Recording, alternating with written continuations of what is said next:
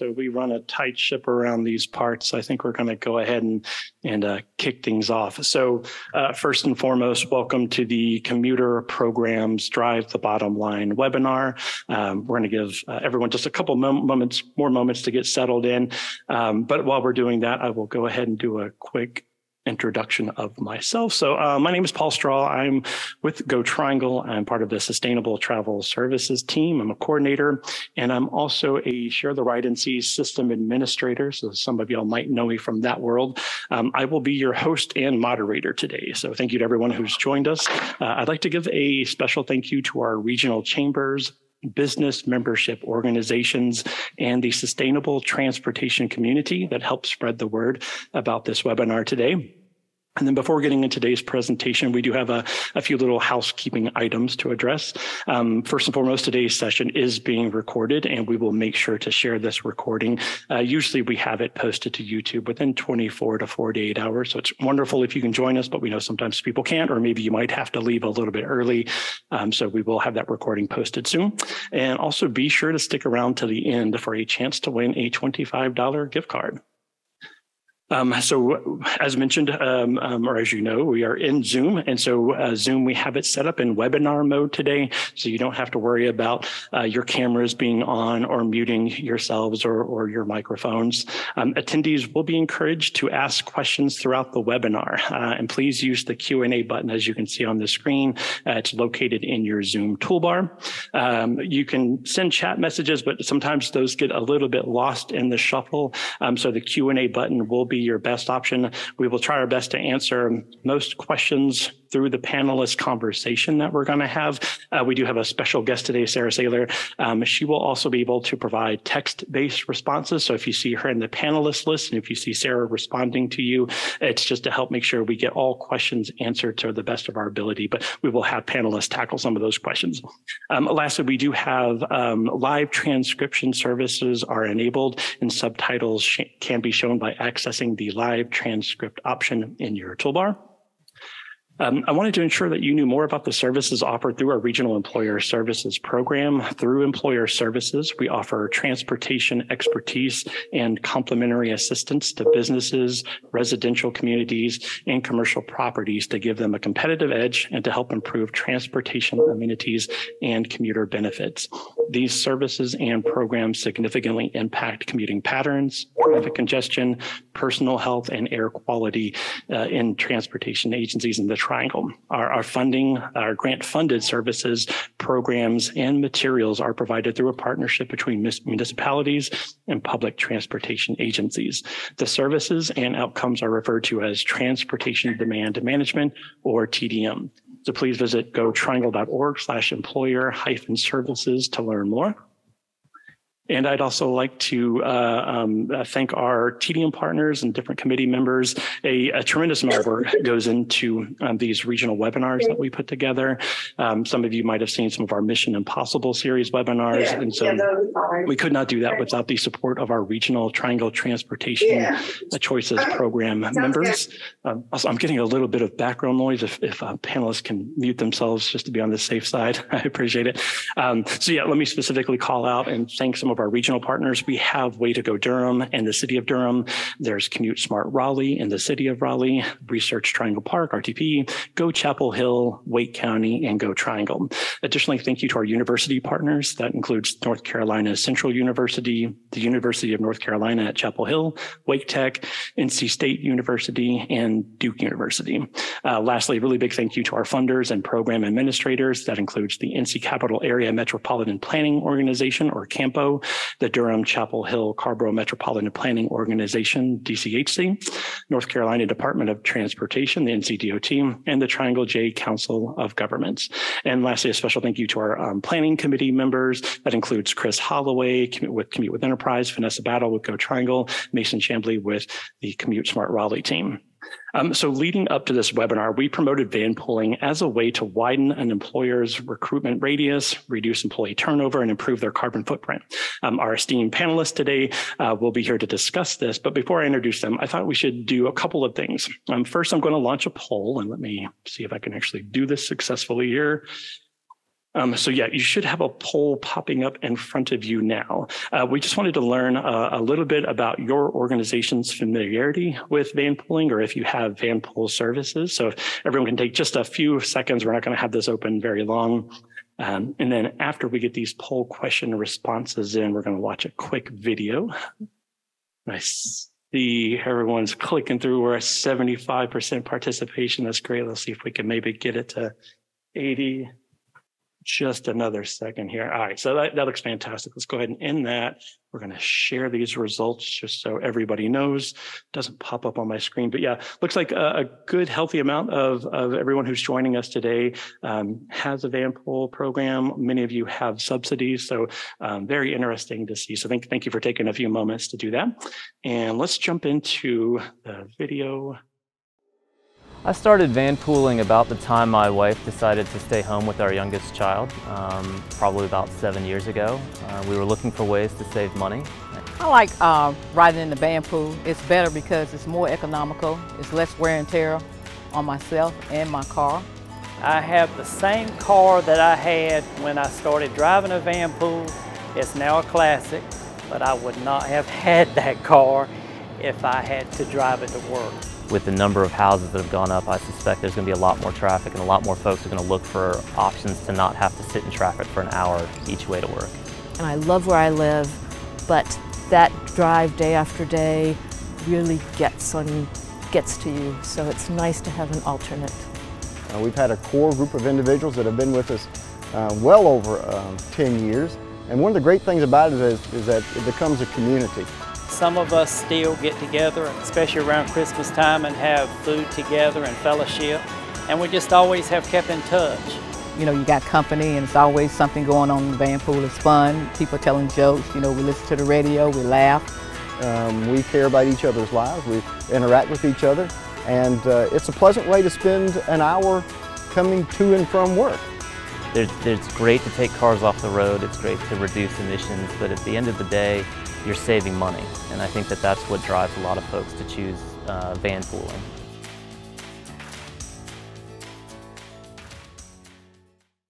Fantastic. Um, that video, it is posted on the Go Triangle YouTube channel. I will be sure to share that link here in just a little bit. Uh, you can learn more also by visiting the gotriangle.org slash vanpool page, of course. Um, all right, so I think this is what we're here for. Um, to kick things off, I'm going to introduce Chris Holloway. We have four panelists today, as many of you had seen on the invite. So I'm going to um, just do one intro at a time and then give each panelist a chance to just give a quick overview of some of the services that they provide. And then we're actually going to open it up for the um, panelist discussion portion of the webinar. But um, yeah, to kick things off, Chris Holloway is a Durham native who attended Appalachian State for uh, college and has been working in transportation since 2017. As a representative from Commute with Enterprise, he works with businesses, federal and military entities, and local transit agencies to develop and expand commuter programs.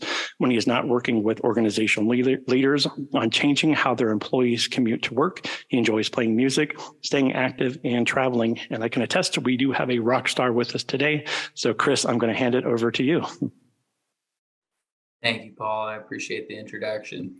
Um, so as we get into this uh, slide deck here, the, the focus is to give some information on van pooling, uh, but as well discuss why companies are pursuing commuter programs, how it impacts individuals at their organizations, and has a positive impact on the community. Uh, Paul, would you be willing to go to the next slide? I'm going to start by talking about some of the, the reasons that organizations pursue commuter programs. We'll then talk at a high level of what Commute with Enterprise is, how it works for individuals van pooling, and what a number of companies see as the benefits from this type of program. And then we'll touch on some of the tools that we use to equip HR leaders and uh, organizations with a means of creating this type of program at their worksite. Um, so, talking about companies pursuing commuter programs, uh, oftentimes we've been we've been seeing how talent is really uh, you know kind of been sought after and whether it's the tech markets here in raleigh the pharmaceutical industries here or if we're talking about manufacturing and frontline employees there's really been a challenge for folks to you know maintain their workforce. And what we've seen is a, a shift for companies trying to enhance their employees' well being and provide additional benefits, whether that's childcare, um, flexible hours, or providing commuter assistance through something like a van pool program. Paul, would you go to the next slide, please? So, Commute with Enterprise has been working in the van pool space for a little bit over 40 years. And it all started when uh, over in California, there was a group of folks who were needing a, a, a, vehicle to commute to and from their work site. And that's when we started working with van pooling. Since then, a lot has changed. We've actually expanded out into 48 states and have just under 9,000 van pools. Um, and the impact of this program is huge. It's actually eliminating over a billion commuter miles. Uh, Paul, would you go to the next slide? I think van pooling is a, a word that uh, you know when I heard it for the first time as a Durham native, I was a little bit confused. What is it? What all does van pooling mean? Um, and really, what it looks like is a carpool on steroids. Uh, it's it's getting a group of folks who share a similar commute and likely start in a similar area, like a neighborhood or a part of town. They meet up at a central location, and then they drive to and from the work site, sharing the driving responsibilities and the cost.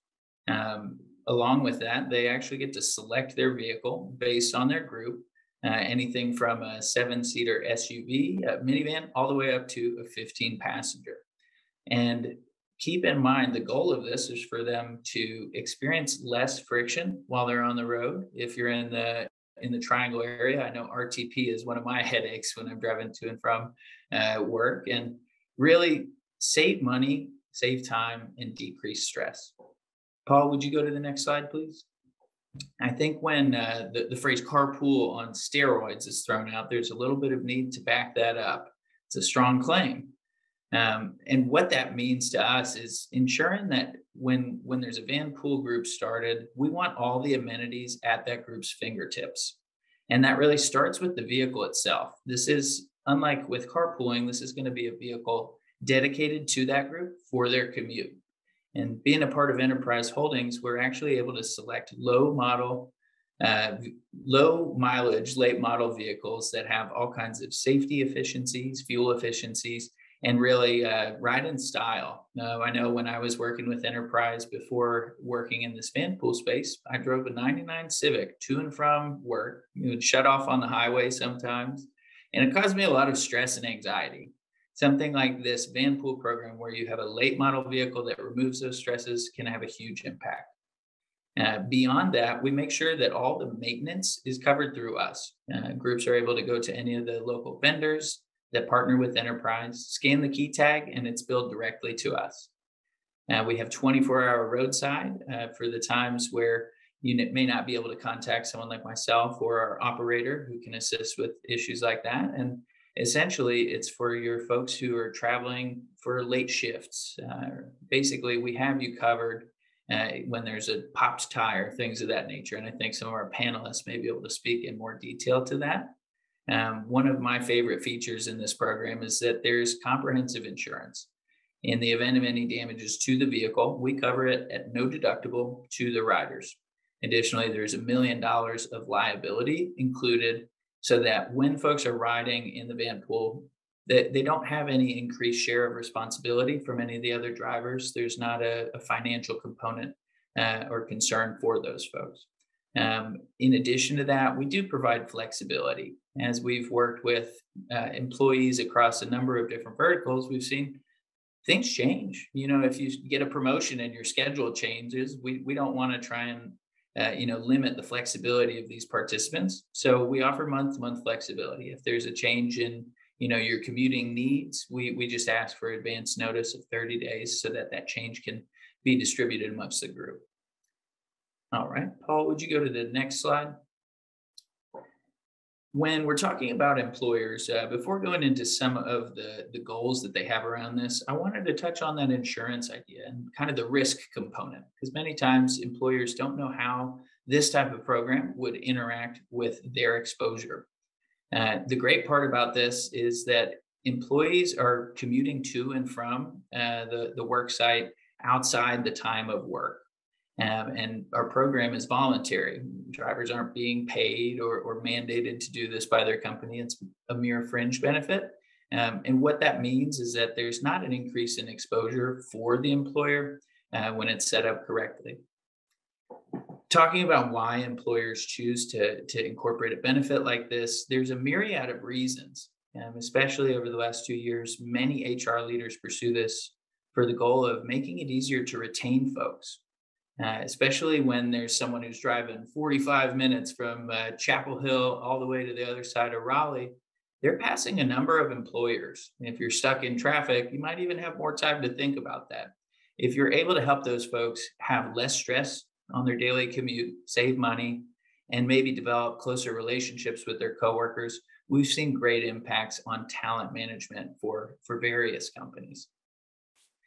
When we talk about parking spaces, uh, this is something that you'll see in downtown Raleigh or downtown Durham, where there's not a great deal of parking in these metro areas where there's a, a, a sense of excitement and a lot going on between all these different organizations. And having folks ride together to and from the worksite is a great way to gain all the benefits that we've mentioned already for those employees, but also lower your parking needs. Um, as a part of that idea of contributing to the community, um, we're able to help get single occupancy vehicles off the road and lower the number of cars getting stuck in traffic every day. So, doing this as an organization is not only going to help your employees as well as your bottom line, it, it's also something that helps out the community. Of course, this has uh, kind of been reiterated a number of times, but this is a huge way to help employees save companies are able to subsidize this program and drive down the cost for their employees, or merely act as a connector to help employees find a, a commuting group so that they can benefit from the savings.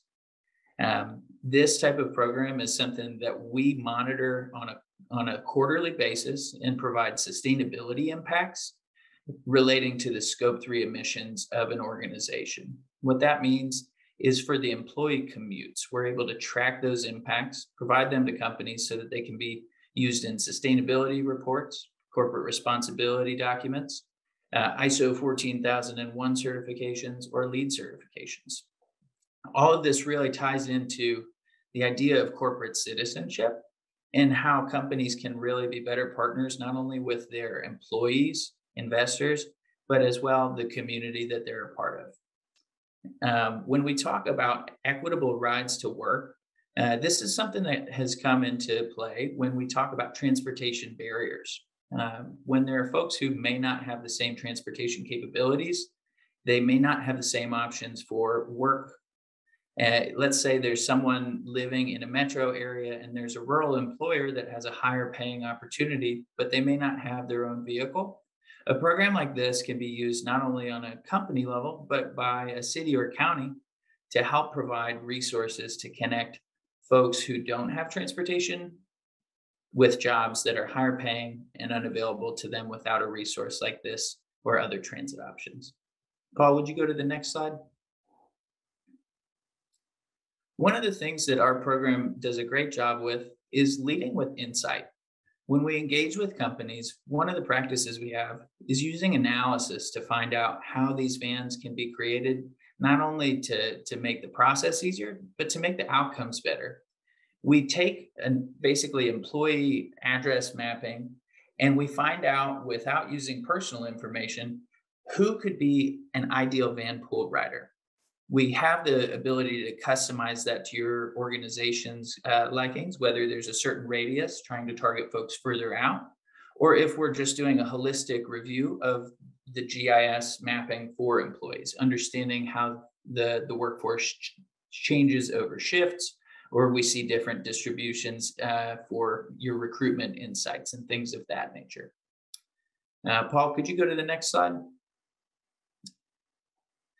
To give a quick overview of how companies partner with us and create this type of benefit, it starts by the analysis, understanding where employees are, where the opportunities are to assist with the employee commute, deciding what this benefit will look like if your company decides to contribute towards this or merely help connect folks, and how you want to roll that out. Oftentimes companies have their, their internal communications very well understood, whether it's a message board that works best or a Facebook group.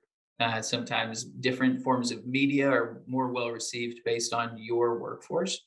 So we work to understand your company and how the heartbeat of your organization, and then merely just provide messaging to help spread awareness on this. After that, most of the work is done. It's merely helping connect these riders and then planning the delivery of the vehicles. After that is the fun part where we come back on a quarterly basis and ensure that we're moving towards the goals that you had when you set out to create a commuter benefit.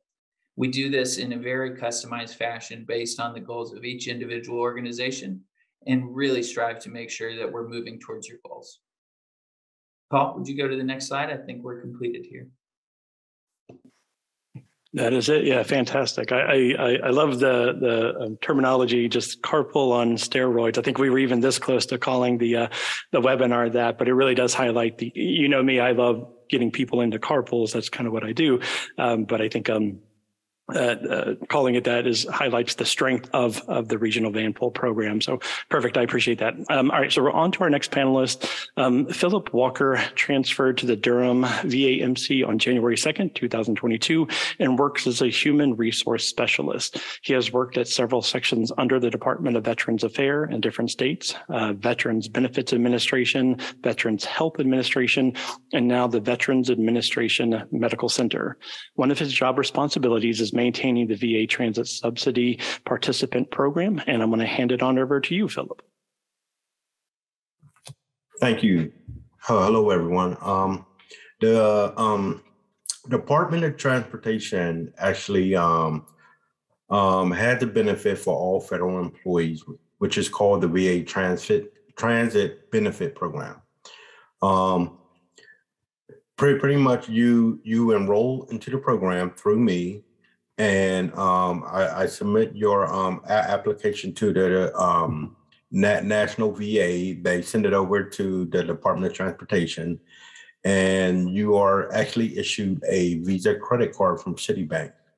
They will load $270 on your card every month so that you can um, pay for um, um, the van pools, you can catch the local transportation, such as buses, light rails, etc. Um, I can say um, I have two employees enrolled who catches Amtrak from Charlotte and Greensboro. So again, um, um, Citibank will um, issue a Visa go uh, a Visa credit card in um, in seven to ten days. Um, this program works well. Um, my previous um, I, I, worked at that that had a strong transportation system. Um, the the majority of our employees were enrolled in a transportation program to actually get a bus pass, monthly bus pass, to to take the public transportation. I can say um, I worked at the Salisbury VA in Charlotte, and we had a large presence um, of enterprise van pools as well. Um, we pretty much had a parking lot full of vans from from um, enterprise that employees participated in. Um, and again, this is, is a federal benefit. Um, okay, um, we can go to the next slide. Okay, and this is um, the federal employees that that actually qualify for the programs. I guess um, it, will be like foreign foreign language to most people, but pretty much uh, doctors wouldn't be able to to participate in this program at the VA Medical Center. Only Title V and some Title 38 employees. Um, it's a program I am promoting quite often at the Durham VA. Again, I started in Durham in January, and I am trying to get um, several or many employees enrolled in the program. One because of um, um, we have a parking situation going on um, where it's hard for our veterans to park because we have um, employees parking there, and also um, we have a lot of employees that do not live in the Durham area and they live further out and this program would actually be good for them. Um, next slide. I believe this is the next slide. If anyone has questions. Perfect. Yeah, I think we'll we'll jump into some of the Q and A portion here in just a little bit. But um, yeah, I'm really glad you had mentioned the um, parking demands. I know that's one of the um, biggest motivators for why organizations and individuals start to explore van pooling as a solution. So um, I think tapping into how the, that impacts the Durham VA uh, will be relevant to a lot of the attendees today. Uh, so yeah, thank you, Phillip. Um, so next, jumping into our next panelist, the um, uh, Nathan Daley has over 31 years of progressive management experience in the pharmaceutical industry.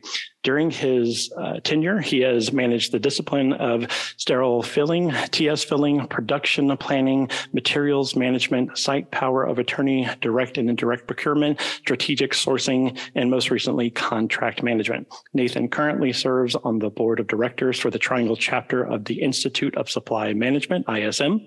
Nathan joined Grifols Therapeutics LLC in 2006 and has served as the manager of strategic sourcing and was recently promoted to the role of associate director of contract management. Nathan has participated in the Grifols sponsored Go Triangle commuter program over 10 years. And I'm about to hand it over to you, Nathan, but I will uh, preface this by saying uh, as we were going into the planning stages, everyone said we need to get Nathan uh, uh to, to join us for this panelist today. So we're really excited to hear from you. and I don't have okay, any thank you. so I'll just turn off the, I'll stop the screen share if that's okay. no, that's fine. That's fine. Uh, thank you for that introduction. Um, I work in uh, at Grifols Therapeutics in Clayton, and I live in Wake Forest. Um, so it's roughly 20, 26 miles one way to work.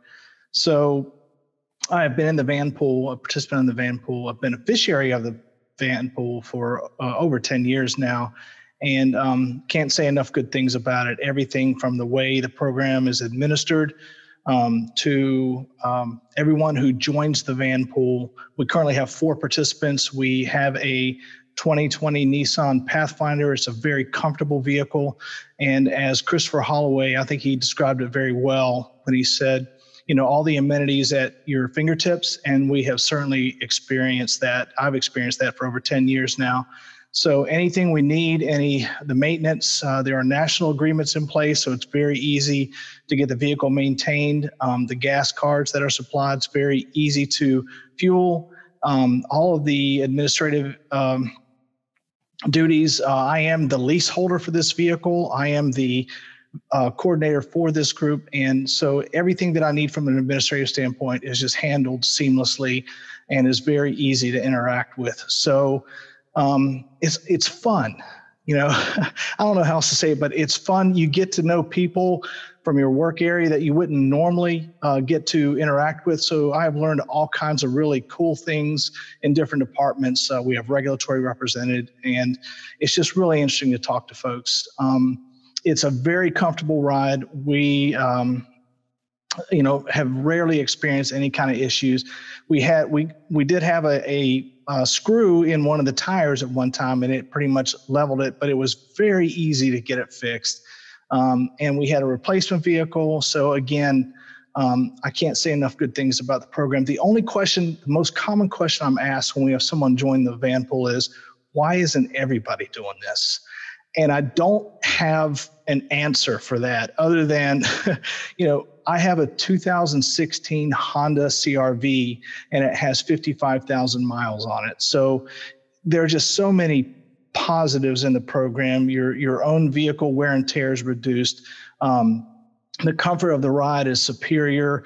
The maintenance and everything are take you know it's just taken care of, and also a benefit people aren't aware of. If you contact your insurance provider and you let them know you're in a van pool program, and as Chris mentioned, you know, the liability and the risk, that insurance is covered. That can also potentially, depends on your provider, reduce your uh, auto insurance. So in my case, it did. It reduced my auto insurance. So there are just many, many residuals that uh, just benefits that are just uh, just embedded in the program. So again, uh, I don't hang around in programs I don't like.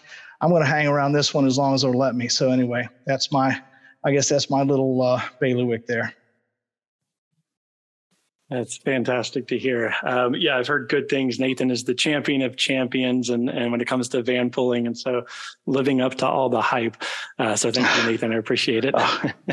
um, so I'm going to hand it over to Sam. Sam Vedder began his career in 1988 as a chemist for the Armour uh, Pharmaceutical Company in Bradley, Illinois. Three years later, he was asked to move into a newly created environmental engineer position. In 2005, he joined Talecris Biotherapy Therapeutics. Hopefully, I'm getting all these right. Uh, now, Grifols Therapeutics in Clayton, North Carolina, as part of the environmental department. He is responsible for waste reduction initiatives, wastewater management, wildlife habitat, ISO 14001 conformance, greenhouse gas emissions tracking, eco efficiency monitoring, circular economic efforts, and encouraging the decarbonization of mobility, including van pooling and encouraging the use of electric vehicles. He has worked with Enterprise and Grifols management to encourage Grifols employees to Vanpool by providing encouragement, information, support, and subsidies uh, to Vanpools commuting to and from Grifols, North Carolina locations. Uh, so, Sam, I'm going to hand it over to you. Thank you, Paul. That was quite a mouthful. As you said, I've been here with with Grifols now for uh, 17 years. Actually, next week will be my 17 year anniversary. But um, you know, as a large pharmaceutical manufacturing manufacturer, um, we seek to be a um, a good environmental steward as well as a good social steward, and you know all these ESG things that are becoming more and more prominent. Um, you know, we seek to um, be um, in that ballpark and uh, and participating in these things. And so, um, you know, we started supporting van pooling, well, as Nathan says, over 10 years ago, because he's been doing it. Um, and, um, and the company has provided um, subsidies to our employees. It's, it's made um, the commute almost um, free for folks like Nathan that um, between the GoTriangle or the, the, the Raleigh area subsidies that are available, as well as the, um, the company subsidy that, that Grifols provides. And so, um, you know, this really helped out. Uh, we've also put in, um, you know, charging stations for EVs and things like that as part of our environmental uh, objectives to, you know, keep pollutants down to keep parking spaces available. Uh, The, the van pools get some, some premier parking spaces, uh, as well as the, the EV vehicles that come in need to be charged. They have close up to the building as we've expanded over the 17 years that I've been here. Um, you know, parking has become further and further away from from offices, and yet uh, those who participate in the van pool, um, you know, they have um, premier parking area to park in. So it's it's an effort on on Grifols' part, and particularly on part of my boss David Auger, um, to to really um, lead the pack rather than than follow. And if, if that's it, I think, um, and, and, I appreciate that update. That's that's fantastic. Um, I'm going to try to share my screen here. Let me do one more share screen. And um, when it comes to van pooling, I think one thing we all know about this is that there's a lot of questions. And so as we were developing uh, the content for this webinar, we wanted to hear from our, our experts, especially local regional experts. And so that was really important for us. But we also knew that there are so many questions that come along with um, van pooling that we really wanted to have an opportunity to have a panelist discussion. And so we're going to transition more now from kind of a presentation style into a conversation style um, where we can pick these experts' brains on all the details specific to van pooling. Um, so I've seen I have seen some questions coming in. So thank you very much to everyone who has submitted them so far. Keep them coming in. Um, uh, I know a lot of times as you hear questions being asked, that might prompt you to think of another question to ask that's relevant to that. So keep them coming in. We will do our best to answer as many as we can today, and then we will follow up as necessary um, um to make sure all questions get answered. Uh, but yeah, I think to kick things off. Um, I'd like to start by addressing um, the importance of improving air quality and reducing traffic through smart commuting behavior. That's something very important to, uh, to our organization and the, a lot of the TDM partners that we have. So this question I think is mostly either for Phillip or Sam, either one of you feel free to chime in. Um, but we promoted this webinar by asking our audience, are you looking for an improved carbon footprint and congestion mitigation? And I think a lot of people joined us today because they probably are. So how has has van pooling or how has your van pooling program accomplished these goals of your improved carbon footprint or that reduced congestion or congestion mitigation? Um, and also maybe what metrics do you use to determine your success? And I'll just open up to either either of you or anyone. I'm going to stop sharing my screen. We can all see each other. I'll, I'll, jump in a little bit here. Um, our corporate folks are very interested in our um, green, our footprint, environmental footprint, and things like that. And so I have to provide data every year on uh, miles commuted. They want to know miles commuted by um, car, miles commuted by train, by bicycle, by motorcycle, by uh, bus, and uh, number of employee or miles walked to work. Now we're out in Clayton and uh, we don't have train service. We don't have bus service. Um, very, very few of our employees would live close enough to walk to work or even to bicycle to work. And so the only numbers we really have are motorcycles and cars. And, you know, this van pooling really helps us out to reduce the, um, the emissions, the fuel consumed, et cetera, uh, associated with with folks coming to work. Uh, our corporate folks, you know, they're they're headquartered in Barcelona, Spain. entirely different um, situation. You know, they've got uh, bus systems, they've got train systems, and and uh, light rail and stuff like that. But but we don't have any of that here, and so van pooling really helps us out.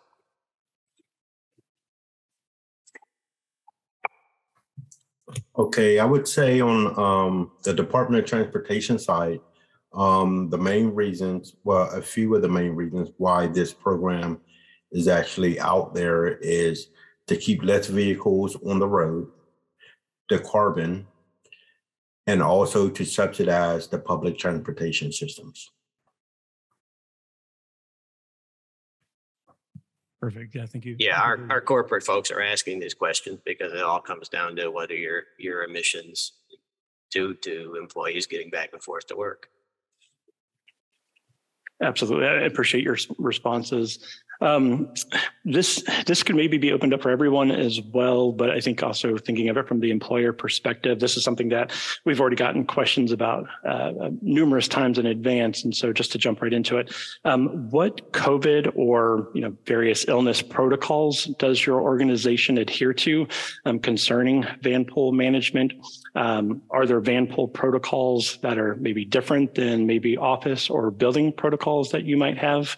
Um, so yeah, whoever whoever uh, uh, wants to tackle that one, I know it's an important one for our audience today, though. I can I can tackle that from our van pool, and uh, the way we handle that is basically if if you are not feeling well, if if you are running a temperature, um, we uh, encourage our folks if you're in that situation to to just stay home. Um, it's a very confined environment, and we we don't want to expose people unnecessarily to to viruses or COVID or RSV or flu, uh, which seem to be really going crazy right now. So that that's the protocol that we follow. And for a while, we did shut down the van pools when when the COVID pandemic first started. This um this was a question that was submitted by Arlene Metter. So thank you, Arlene. And I, I think it taps into what we're talking about here. As employees have been returning to the office, oh no, the question disappeared. um, for some reason, Zoom just got rid of the question. I'm gonna uh, go yeah. here. Uh, as oh, go ahead, Chris. Oh, I was just gonna say, I think that might have been uh, answered in the Q and A, um, but kind of talking more so on the triangle level and what we've seen here is that you know, before the pandemic, oftentimes vanpool programs were used in a white collar space as an added benefit. Um, and oftentimes we're seeing that that was shifted more into a focus on hybrid or flexible schedules for the staff that are able to. Um, many of the organizations that we worked with prior to vanpool or the pandemic um, are, are working to bring folks back into the office, but it's it's looking different for each and every one of them, and it's shaping up as kind of a gradual shift for most. Um, you know, starting to add occasional days in the office, maybe adding additional ones. Um, and on our side, we're trying to work with those employers to find a way that that makes sense for them to support this, but also doesn't uh, involve the employees coming in every day with this service. Um, so it's it's definitely looking a little bit different uh, post pandemic, but I think it's resulting in employees having a, an added level of flexibility. And I'm kind of curious from, I guess, Phillip, from your perspective with the Durham VA, I think the you know operations of a facility like yours is different than um, probably many other organizations. How have uh, you know how how have your pre-COVID van pools versus kind of now in this sort of you know maybe not quite post-COVID, but this world have have the numbers stayed um, um, fairly in line with themselves, or how has things changed over time for you? Yeah, um, whenever COVID came out, again, um, I recently just got to Durham in January of this year. However, um, we sent a lot of employees home to work. Um, they were pretty much on a telework agreement. I'm sure um, we lost some some staff on, on, on the van pools, but the van pools continued to run. Am I correct, Chris? Okay. Um, as far as as the the COVID policies, we're working for the VA hospital. Um, the participants on the van pool, if they're six feet within each other, they should be wearing a mask, but I don't know. So I don't, and you know, I don't ride with them. So I'm not sure if they're following policy. Gotcha. Thank you. I appreciate that. Mm-hmm. Um, all right. So to jump into another question, this one's kind of open ended and broad, but but Chris, uh, I think I wanted to pick your brain a little bit. So what have been the biggest challenges that you've experienced when it comes to just launching a new vanpool program? Uh, I know that's kind of an open-ended question, but I'd love to hear like what, what are the stumbling blocks that you encounter the most frequently? Yeah, I think uh, when when there's folks who we work with in an organization who are excited and interested in doing this, uh, it, it works really well. Um, I think some of the times where I see the launch of the, the Vanpool program working best is when folks are, are actually able to hand off some of the responsibilities to me as far as engaging, uh, coming on site and setting up a table, uh, engaging with specific Vanpool groups, um, kind of doing the work together um, has been really helpful because I see it as I, am I'm, I'm the Vanpool guy. I may not know XYZ company culture, but if we pair that knowledge together and we know what your company's aiming towards, that's when there's really a great level of success. Yeah, that's good to hear. Um, all right, so Nathan, a question for you. Um, so I think this kind of gets into some of the logistical elements of, of actually what it means to be in a van pool. Uh, but Vanessa Battle had asked us, um, where do you and your participants of the van pool meet to board each day? Can you kind of walk us through maybe what that daily van pool experience is like, just kind of how you organize, where you meet up, what that experience looks like from your perspective? Uh, that's a great question. Um, so we decided to meet um, at a uh, strip mall uh, that was convenient to everybody. And I got with the property owner, um, and it's in the parking lot of a CVS. So got with a CVS store owner as well. Got their permission to do it. We all agreed upon it. That was the best place. So we all convened there at an agreed upon time in the morning. And then, um, just like Sam was saying, uh, at, at Grifols, the Vanpool program has a premier parking place uh, right next to the building. So um, we all park there and we um, have a have an agreed upon time that we all meet back at the van and then um, I guess commute home commute home from there. Um, is it like clockwork? Is it like on the minute? Um, no, there are issues. Um, there are things that come up, and um, we as a group have been able to to address those. Um, you know, someone's working in a late meeting, they're going to be 10, 15 minutes late. Of course, we'll work with with folks. Um, and it, you know, someone may, may be running late. They have a sick child. They need to get somewhere or something. You know, we it's it's flexibility is the key. So um, I hope that answers the question. But yeah, we have an agreed upon meeting place and um, we have a premier parking space at, at work. Fantastic. That actually teased me up for a question I was going to ask a little bit later down the line, but I think now feels like an uh, opportune moment. So this is for Chris. This is kind of a softball question coming from me, but um, what what plans um, does a Vanpool need to know in case they have an emergency? Are there programs or are there services that they could utilize in case an unexpected emergency pops up uh, where somebody needs to get home and the Vanpool maybe cannot? yeah, yeah. So uh, actually, through GoTriangle, there's a program called the Emergency Ride Home Program. Um, it's it's really essential not only for Vanpool for but for all commuting modes where you don't have you know your own vehicle involved um, and and what that does is if let's say we all van pool to our work site and i i have a, a kid sick at school that i need to pick up and take home um, instead of having all of us leave on a dime and and really have an impact on everyone's work uh, I'm actually able to go through Share the Ride NC, uh, which which you want to register for in advance when you join a van pool, and get a taxi service um, to get me back home. It's called Emergency Ride Home. It's available up to six times per year per participant. And it's really for flexibility. You know, I think for folks who are more comfortable driving in their own vehicle, this is a really great stopgap where you have flexibility uh, when, when the unexpected happens. Now, you know, I love the emergency ride home program. I, I, kind of administer it on my end, so I'm, I'm glad you had a chance to talk about it. Um, all right, so I'm going to um, toss this one out, I think, to, to Sam, if you don't mind. Um, as an organization that has embraced van pooling, what advice would you give to other organizations um, who who are considering van pooling, or maybe they haven't considered it and they need a nudge in that direction? What are what are your words of wisdom? guess one of the things is if you can get your uh, HR folks to agree to give you um, addresses or zip codes or something for the your your uh, employee base, you know, to do a determination of where are the pockets of employees in in a concentration large enough to um, to be realistic for a van pool. You know, the data that you can accumulate um, is, essential so that um, you really know what you're you're getting into and uh, and what's realistic.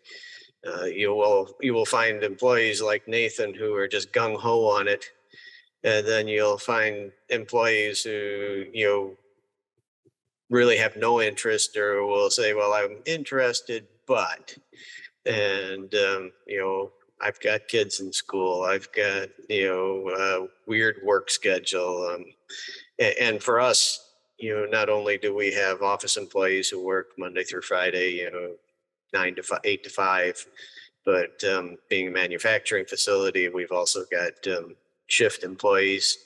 Um, a lot of them work 12-hour shifts. They they flip flop every couple of weeks between days and nights. Um, so a lot of those details, if you can get that data up front, you know, that will really help you out. Uh, fantastic. Um, and I think, um, Phillip, I'm going to toss this one out to you, although I think anyone can chime in as well. I'm, I'm, I'm maybe multiple responses could be good to hear from this. But um, how does your organization, how does the Durham VA promote van pooling? And I guess what communication methods have been the most successful? Do you think is it emailing? Is it is it tabling? Is it getting you know Chris out there to inform individuals? Where have you seen the most success with the Durham VA? Okay, yeah. Um, actually, I, I was just thinking of that. Um, we have a daily Durham, um, which is sent out daily with announcements on there. Um, and I'll send uh, email um, with the van pool information and um, at least two or three times a month. And it's just a blast to um, say, hey, I'm looking for van, van, van pool riders for a specific area, or they can join an ongoing um, van, van pool that's in operation already, or you can inquire with people within your city to start a new van pool. So um, I do that about two or three times a month. Uh, fantastic.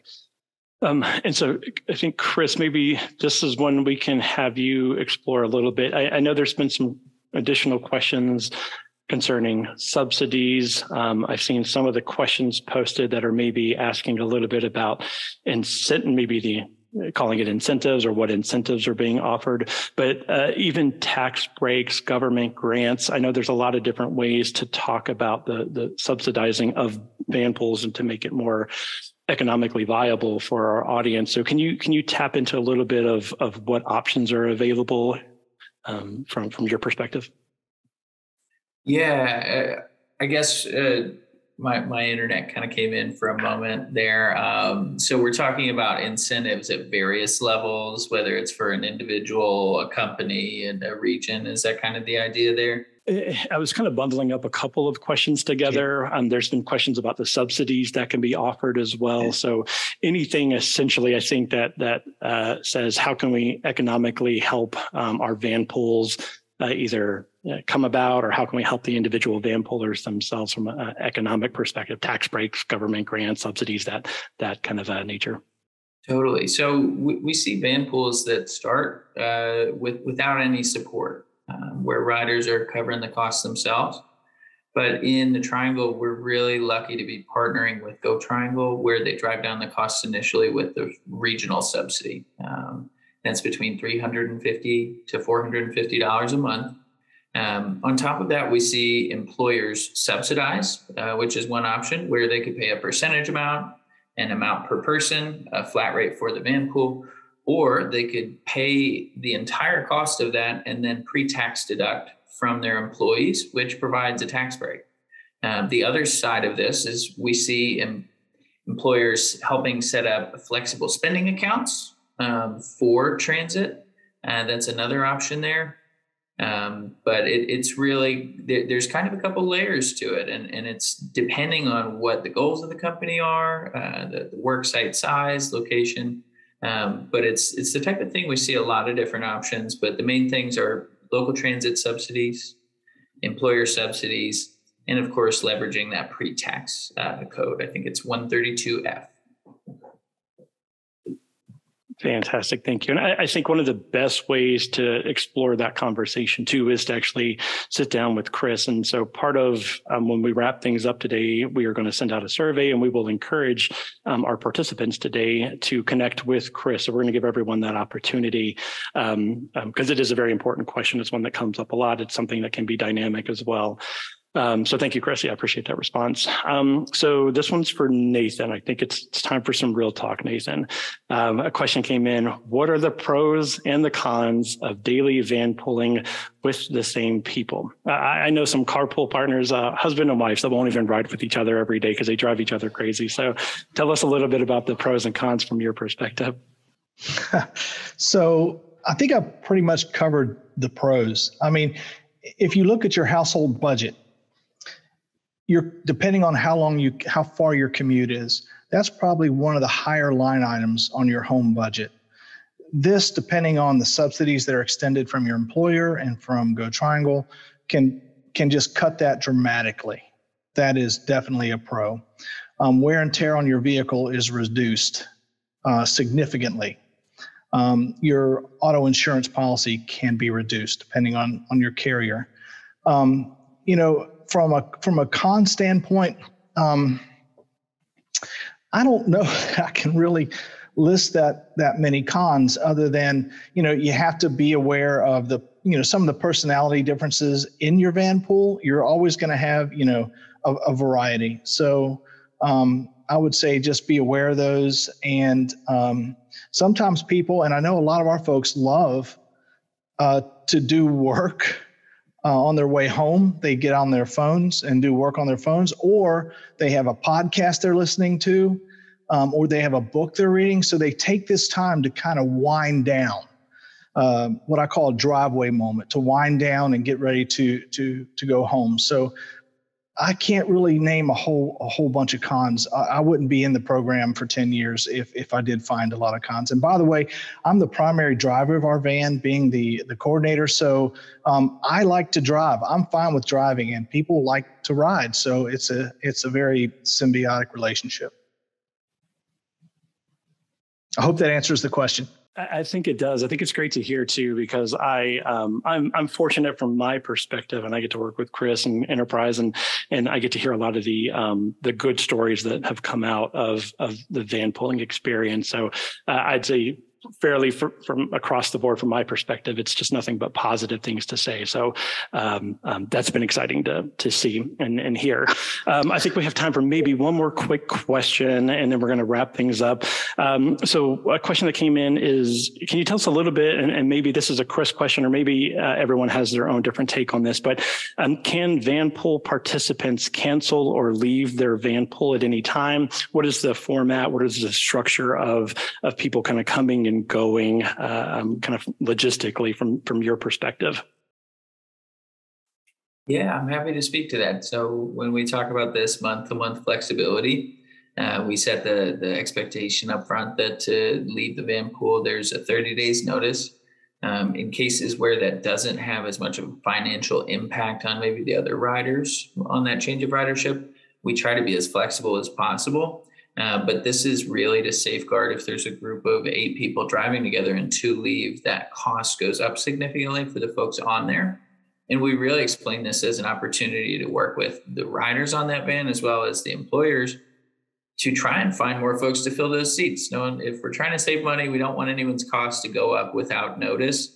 Um, but in the event where it doesn't have a negative impact on the group or the cost of the individuals, we we can find flexibility. That's that's our goal. You know, we don't want someone you know paying for a service that isn't benefiting them if they're moving out of state or something like that. But oftentimes those changes are kind of uh, spoken about in advance, and people know when there's big changes like that coming up. Fantastic. Great. Thank you. Um, all right. So I, I, see we're getting pretty close to our time. So I think I am going to um, thank all of our, our panelists. Um, incredibly helpful. A lot of information here. I don't think we got a chance to get to every question. I tried to respond to some individuals as best as we could. Um, but yeah, thank you for your responses. We will be following up offline as well for any questions that we didn't get a chance to tackle today. Um, so let me share my screen one more time. I had mentioned a little bit earlier that there's an opportunity to win a $25 gift card. And so we are asking all of our participants today to take a survey. And let me drop this link into chat so everyone can actually click on it. Um, that link I just put into chat for everyone, that will take you to our survey. It will uh, ask you about today's session. Uh, it will also give you the opportunity to um, schedule a meeting with Chris. And so we strongly encourage everyone, if you are just looking to have a conversation about a van pool program, learn a little bit more. I know today's been informative, but I think there's probably a lot of questions that uh, develop as you are exploring van pooling for your particular organization and your needs. So absolutely connect with Chris. We want to make sure that happens for you. And this is a good opportunity to do that. And then lastly, here is the contact information for all of our panelists. Thank you all once again. Uh, really, really appreciate your time, all your responses. I know we've used up a good bit of your time time throughout the planning efforts. But thank you so much. And thanks to everyone today for attending. Once again, we will have this posted on YouTube in the next 24 to 48 hours or so. So keep an eye out for that. Uh, otherwise, everyone, I hope you have a fantastic rest of your day. Thank you so much. Thank you, Paul. take care, everyone. Thanks, Paul. Bye.